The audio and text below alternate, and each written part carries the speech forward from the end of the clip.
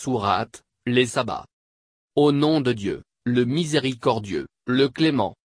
Louange à Dieu à qui appartient tout ce qui est dans les cieux et tout ce qui est sur la terre. Louange à lui dans la vie future. Il est le sage, le connaisseur. Il sait ce qui pénètre dans la terre et ce qui en sort, et ce qui descend du ciel et ce qui s'élève vers lui, le ciel. Il est le clément, l'indulgent.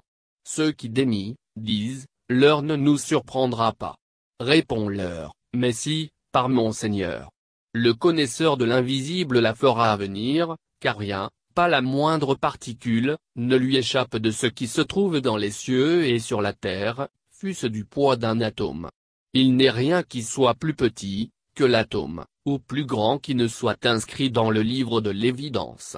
Afin, que le jour dernier, qu'il récompense ceux qui croient et accomplissent des actions vertueuses, et auxquelles l'absolution et une noble récompense seront accordées, et ceux qui s'efforcent de vouer nos signes à l'échec, à cela leur supplice sera un châtiment douloureux. Afin également, que ceux qui ont reçu la science, les messages antérieurs, voient, se retrouvent face à la preuve, que ce qui t'a été révélé, émanant de ton Seigneur, est la vérité, celle qui guide vers la voie du Tout-Puissant, du digne de louange. Ceux qui dénient disent, voulez-vous que nous vous montrions un homme qui prétend qu'après avoir été totalement décomposé, vous serez recréé? S'agit-il d'un mensonge qu'il attribue à Dieu, ou serait-ce qu'il est sous l'emprise des esprits? Certes non. La réalité est que ceux qui ne croient pas à la vie future sont dans le tourment et dans un égarement profond. N'observent-ils pas qu'autour d'eux, le ciel et la terre s'étendent à perte de vue, les cernes de toutes parts, et que si telle est notre volonté, nous les ferions engloutir par la terre et que nous ferions s'abattre sur eux des pans de ciel. Il y a là des signes pour tout pécheur repentant. Nous avons octroyé à David une grâce émanant de nous, ô montagnes. Célébrez les louanges de Dieu, en cœur avec lui, David. Ainsi que vous, oiseaux. Et nous avons rendu le fer malléable entre ses mains, en lui disant, Fabrique des côtes de mailles et mesure le maillage, et faites œuvre pie, car j'observe vos agissements.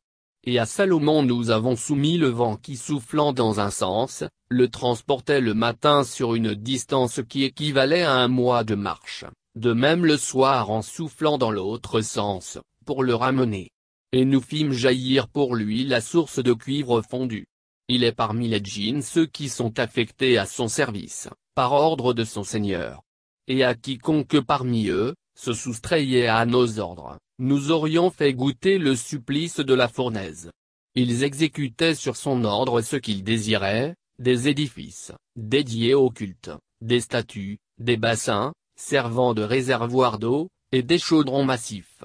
Montrez-vous, aux gens de David, reconnaissants, car ils sont peu nombreux mes serviteurs à se montrer reconnaissants. Et lorsque nous décrétâmes sa mort, ils ne purent la constater que grâce aux termites qui avaient rongé sa houlette, la canne sur laquelle il était appuyé. Et lorsqu'il s'écroula, sous l'effet de la canne totalement rongée, les djinns ne purent que reconnaître que s'ils avaient eu accès au mystère, ils ne seraient pas restés tout ce temps soumis au châtiment infamant de la servitude.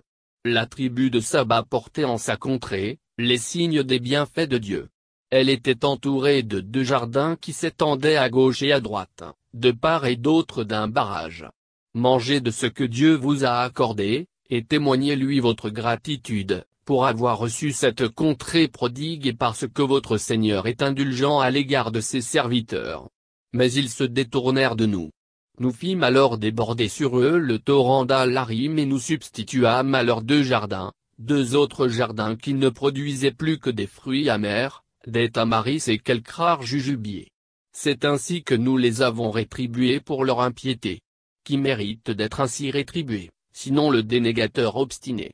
Et nous établîmes entre eux et les cités que nous avons bénies, d'autres cités devenues des étapes connues, des voyageurs, et que nous avons rendues accessibles, en les jalonnant de route, emprunter ces routes de nuit comme de jour en toute sécurité.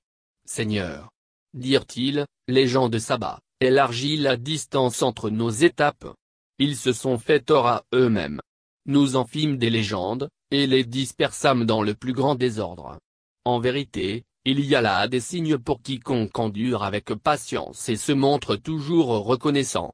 La promesse de Satan s'est trouvée réalisée en eux, et ils l'ont suivi, excepté un groupe de croyants parmi eux. En vérité, il n'avait aucun pouvoir sur eux, nous voulions, en lui permettant de les détourner, distinguer ceux qui croyaient à la vie future de ceux qui étaient en proie au doute à son sujet. Ton Seigneur veille sur toutes choses. Dis-leur, invoquez ce que vous prenez pour divinité en dehors de Dieu.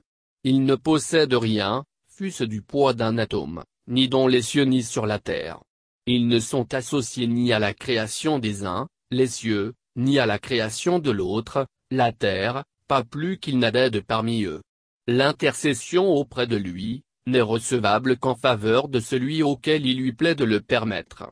Lorsque la frayeur de ceux qui sollicitent cette intercession aura disparu, ils demanderont, à ceux auxquels la permission d'intercéder est accordée, qu'a dit votre Seigneur? La vérité, leur sera-t-il répondu. Il est l'Auguste, le Grand. Demande-leur, qui vous procure votre subsistance des cieux et de la terre? Et répond, c'est Dieu. Alors, aussi bien nous-mêmes que vous-même, sommes-nous dans la bonne voie, ou dans un égarement manifeste. Dit, vous n'aurez pas à répondre de nos crimes, pas plus que nous ne serons comptables de vos actes. Dit, notre Seigneur, nous réunira ensemble et tranchera entre nous selon la vérité. Il est le juge absolu, l'omniscient. Dit, montrez-moi ce que vous lui attribuez comme associé. Mais vous ne le pourrez pas, car il n'est de Dieu que lui, le Tout-Puissant, le Sage. Nous ne t'avons envoyé à l'ensemble de l'humanité que pour porter l'annonce de l'heureuse nouvelle et pour l'avertir. Mais la plupart des hommes ne le savent pas. Ils disent, à quand cette promesse, si ce que vous annoncez est la vérité? Dit, vous comparaîtrez en un jour que vous ne pourrez ni reculer ni avancer, fût-ce d'une heure, d'un court instant. Ceux qui dénient disent, nous n'accorderons jamais foi à ce Coran, ni aux promesses dont il nous menace, celles relatives à la résurrection. Ah Si tu pouvais assister à la comparution des injustes, lorsqu'ils seront mis en rang devant leur Seigneur, s'accusant mutuellement. Ceux qui furent aliénés par ceux qui avaient été méprisants, à l'égard des signes de Dieu, leur diront, sans vous, nous aurions certainement été croyants. Ceux qui avaient été méprisants répondront alors à ceux qu'ils ont aliénés, Est-ce nous qui vous avons détourné de la voie droite lorsqu'elle vous fut indiquée? Certes pas. Vous n'étiez que des criminels. Les aliénés rétorqueront, ce sont plutôt vos harcèlements incessants, de nuit comme de jour, lorsque vous nous ordonniez de dénier Dieu et de lui donner des égaux. Ils tenteront de dissimuler leur regret en apercevant le châtiment, car nous aurons déjà mis les carcans au cou des dénégateurs. Seraient-ils rétribués autrement que pour leurs agissements? Il n'est de cité auquel nous n'ayons envoyé d'avertisseurs, sans que les fortunés parmi leurs habitants n'aient dit, nous dénions le message que vous êtes chargés de nous transmettre. Ils ont même dit, comment pourrions-nous être dotés de tant de richesses et d'une telle postérité, et être soumis en même temps à un quelconque châtiment Dis-leur, Dieu prodigue ses biens à qui il veut, et dans la mesure qu'il lui plaît de prodiguer. Mais la plupart des hommes ne le savent pas. Et ce ne sont ni vos richesses, ni vos enfants qui vous rapprocheront de nous. Seuls ceux qui croient et font le bien seront rétribués doublement pour leurs œuvres, et connaîtront la sereine quiétude des rangs élevés du paradis, alors que ceux qui s'efforcent de vouer nos signes à l'échec seront livrés au châtiment. Dit, Mon Seigneur prodigue ses biens à qui il veut parmi ses créatures, et dans la mesure qu'il lui plaît de leur prodiguer et quoi que vous dépensiez, il vous le rendra car il est le plus généreux des donateurs. Le jour où il les rassemblera tous, il dira aux anges, Est-ce vous que ces gens-là adoraient? Ils répondront, Gloire à toi. Tu es notre seul protecteur. Ils adoraient plutôt les démons auxquels la plupart d'entre eux croyaient. Ce jour-là, vous ne pourrez ni vous faire du bien, ni vous nuire les uns les autres. Et nous dirons alors à ceux qui auront été injustes, goûtez en ce jour au supplice de l'enfer que vous déniez. Lorsque nos versets édifiants leur sont récités, ils disent, celui-ci n'est qu'un homme qui cherche à vous détourner de ce qu'adoraient vos ancêtres. Ils disent aussi, ceci, le Coran, n'est que pur mensonge qui a été inventé. Ceux qui ont daigné diront de la vérité qui leur est parvenue, ce n'est là que magie manifeste. Pourtant, nous ne leur avions envoyé aucun livre à étudier, et nous ne leur avions envoyé aucun messager avant toi pour les avertir. Ceux, les nations, qui les ont précédés, et que pourtant, nous n'avions pas doté d'un dixième de leur puissance, ont eux aussi daigné qualifier mes messagers d'imposteurs. Et quel ne fut pas mon châtiment? Dis, je n'ai qu'une exhortation à formuler. Que vous vous recueilliez devant Dieu par deux ou individuellement, et qu'ensuite vous méditiez.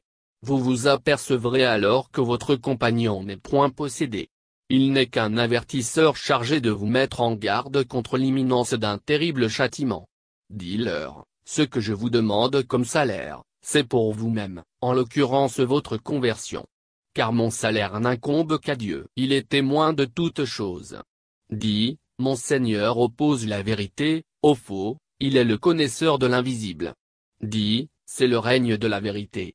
Elle ne laisse aucune place au faux, mensonge, qui n'a ni le pouvoir de créer, ni celui de renouveler, la création. Dis, si je me suis égaré, j'en assumerai seul les conséquences, dans ce monde ici-bas et dans l'au-delà, et si je suis bien guidé, je le dois à ce que mon Seigneur m'a révélé. Il est celui qui entend tout et il est proche, de ses serviteurs. Si tu les voyais lorsque, saisis par l'effroi, ils ne trouvent pas de moyen de s'échapper et seront cernés au plus près. Ils auront beau s'écrier, nous y croyons. Mais comment ferait-il pour embrasser, attraper, la foi, en étant dans un lieu si éloigné, l'au-delà, alors qu'il la déniait en ce monde ici-bas, alors qu'elle était à portée de main, aujourd'hui, alors qu'ils sont loin, il divague à son propos. Il y a désormais un abîme entre eux et ce qu'ils désirent, le repentir. Il en fut de même pour leurs semblables, qui, comme eux étaient en proie à une défiance qui les fit douter.